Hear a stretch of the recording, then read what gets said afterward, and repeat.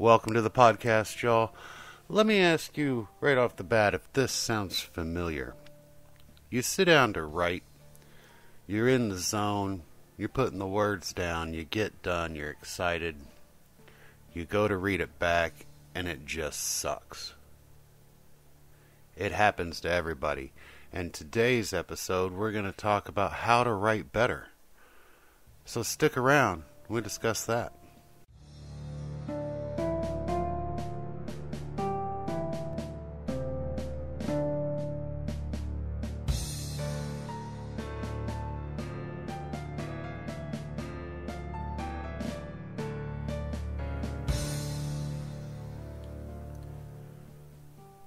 Every writer starts out writing shitty. It's just the nature of the beast, you know, that's how we do it. We start out, we suck. And we aim to get better. The problem with that, though, is that when you start out writing, you're excited about it. You know, you you want to be this great writer. Maybe you read a book or a magazine article or a blog post, and and it just turned something on in your brain that made you want to do it too. However, it is that you get into writing, we all have this internal voice, and that some bitch is never satisfied. Part of it's our taste, but it's all personal. And when we do work, we read it back, and we may be excited about it, but as time goes on, you keep reading it, and it just gets worse and worse. And in the beginning, early on, you know, you, you, you write something, maybe it's a poem, a little short story that you made up, you give it to mom, you pass it around the class to your best friends, and everybody loves it. And then you get home, you read it again because you're excited, and, and it just it it's missing something. It just basically it sucks. It, it it's shitty writing, and you're disappointed but everybody else loves it and and you hate it but everybody loves it so you you kind of get this okay I can do this and you keep going and that's the important part because you have to realize right from the beginning and I tell you I wish people had told me this but in the beginning everybody's going to love your things because you're only going to show it to people that love you and nobody wants to hurt your feelings especially if you start young like I did I started second, third grade, passing stories around. But the younger you are when you start, the more time you have to get better. That's not always a great thing, but it has its benefits. But the point is, in the beginning, when you're young, you're starting out, even if you're older and you're just starting out, people want to support you.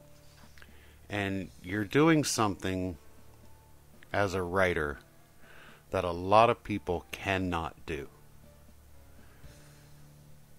They're surprised, they're jealous, they're envious, and, and they're excited for you. And, and of course, they're going to think, wow, this is, this is great. You just created this story out of thin air. I could never do that. You're amazing. It's amazing. Give me more. The problem is, it doesn't sit well with you on on the personal level. It's that little internal voice, and it's your taste, and it's just your work is there, your words are there, but something about it is just it's it's missing. It's not. It doesn't click.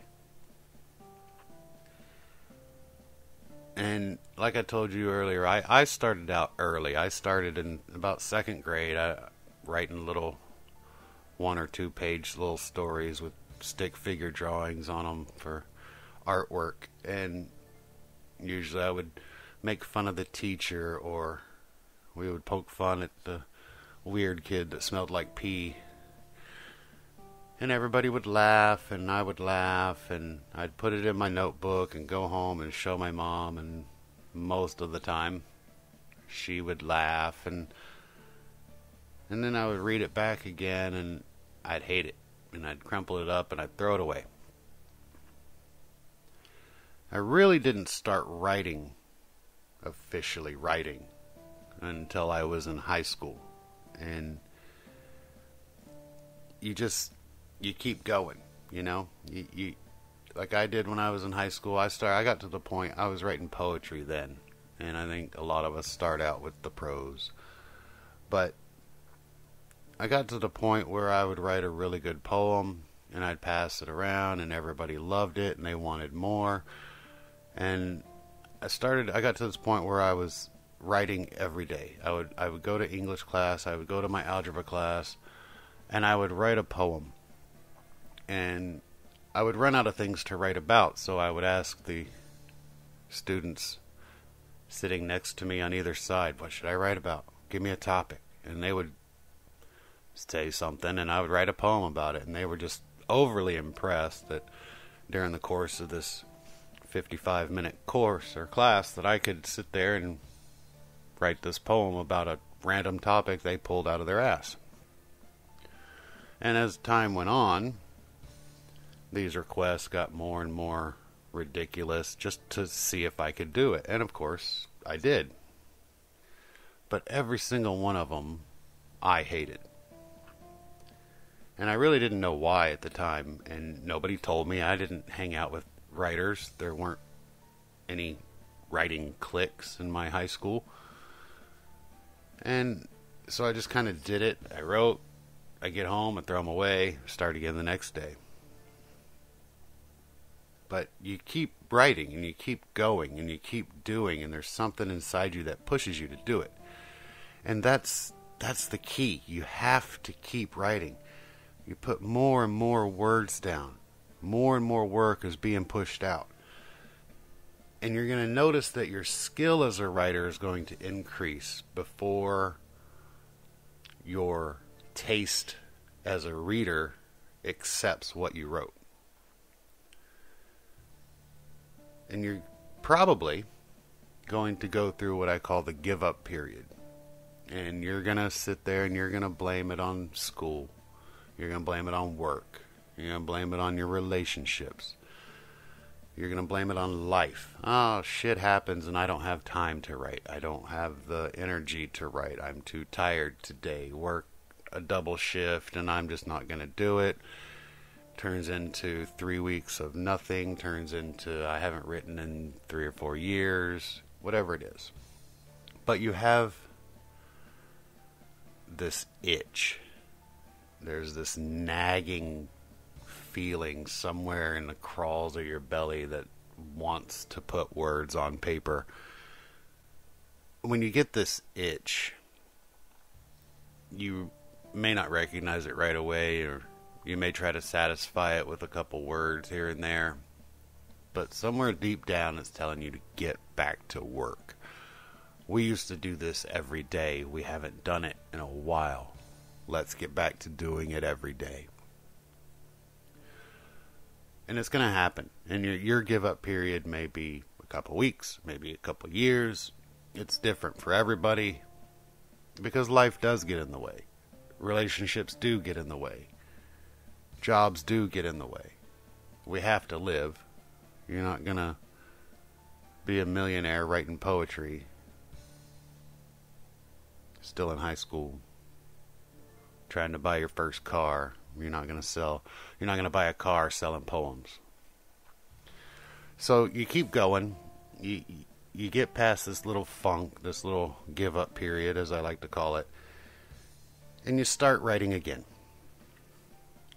So you've gone through the basic stages, and now you're you're later in life. You're post high school, post college, maybe. Maybe you've worked for the same company for 15 years, and writing is a hobby. But now you're starting to turn out works that are amazing. They're really good everybody that reads them loves them. They want more and more and more. Oh my God, what happens next? Don't leave me on a cliffhanger like that. You better go back and write now and come back and tell me what's going on. you know how to write. You have the skill. But it still isn't good enough. And I'll tell you, my first novel, when I finished it, man, I was proud as shit of this novel. I like I'd done a couple screenplays, I'd done shit ton of poetry books, but this was an actual sit down full length novel and I couldn't have been more proud. And I'm still proud. It kicked off something that started amazing things for me.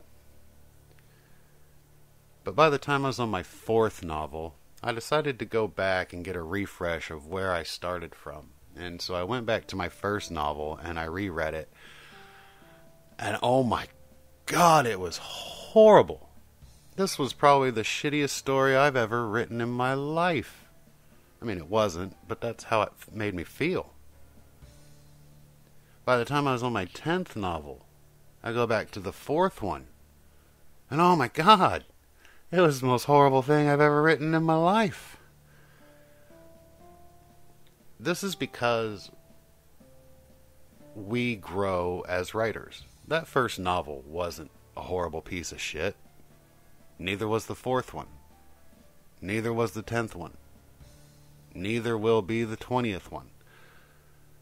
But in comparison to the skill level and the effort it takes,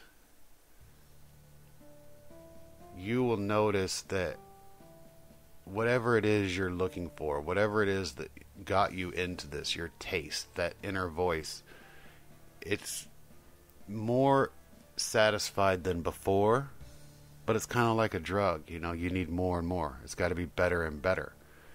So by the time you're on your fourth or fifth novel, you have higher expectations than you did on your first one. And so when you go back and read that first one, your expectation levels are still sky high.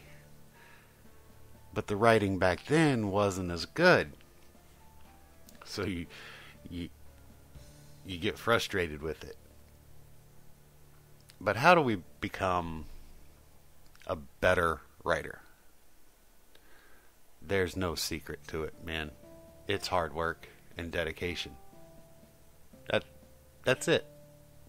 You want to know the honest answer, you want to be a better writer, fucking write. Try different outlets. You know, if you're getting bored, if you're getting stagnant, if you don't know what to do next, try something new. Write poetry. Write short stories. Write screenplays. That's a whole different animal. Write a novel. Write song lyrics.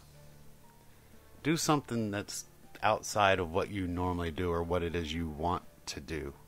And do that for a while get words out on paper.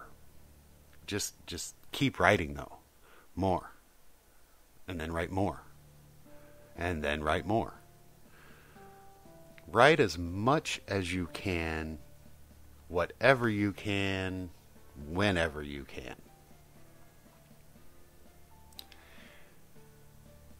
You can help this go faster if if you're impatient or if you're lazy like I am. Instead of writing all the time, you should read all the time. If you're not writing, you're reading. And if you're serious about it, you probably always have a book on you at some point. I could stop you in the grocery store, but what are you reading? And you pull it out of your pocket. No. Some people actually carry around a physical book. I do. In this technological age that we are in, a lot of people have it on the e readers, tablets, your cell phone. There's no excuse not to have a book with you anymore. I mean, there's just not. No. See in the grocery store with the old lady she goes over to get the carrots, pull it out, and read a couple paragraphs. Reading and writing make you a better writer. It's not a secret. Hard work and dedication. Read everything that you can that's inside your chosen genre. If you write horror, you better read horror. If you write suspense, read suspense. You write true crime, read true crime. And here's the kicker read outside of your genre as well. Read those romance novels, read those manga magazines. If it has words on it, man, read it. Experience new authors, people you've never heard of. Read that book that everybody hates because it's so shitty. Read it anyway. The more you read, the more you write, the faster you're going to get to the point where that internal voice and your internal taste are satisfied. And I want I want you to remember something. I'm going to tell you this right here right now, and I want you to remember it. Keep it in the back of your head, write it down, look at it every now and then, whatever it takes. But just remember this. You are a good writer. Everyone can see it. Everyone but you. But you are a good writer. So you keep reading, you keep writing, and eventually something inside you is going to click. And I'll give you an example. This goes back to high school math math was really, really hard for me up until about 10th grade. And my algebra teacher at the time, she was from California. We were in Texas, but she was from California. She was a surfer chick. She was young. She was cute. I had a crush. I sat in the front row. I really wanted to get to know math and the math teacher. But I just I couldn't understand it. I didn't know what what the hell was going on.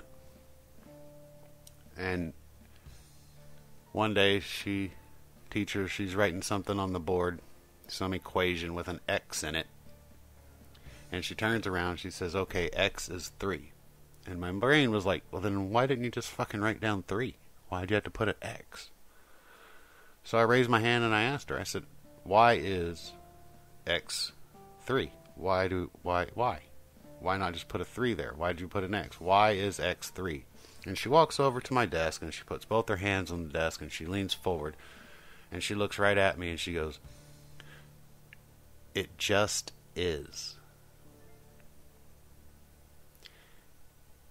That's that's all I needed.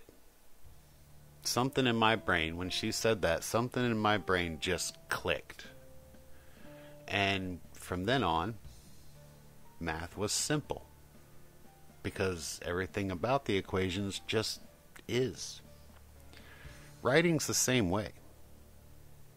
Eventually, you're going to get to this point where everything is just going to click. Unfortunately, there's no hot math teacher that's going to lean forward over your desk and tell you that it just is and make it happen. Writing's a little bit different than math. You still have to put in the work, you still have to show up, but it's the volume that's going to make that light switch click on. So just keep reading and keep writing. And if you do that, eventually you're going to be satisfied with your own work. Hard work, dedication. Write a lot, read even more. Wait for the click, and then it'll be easy.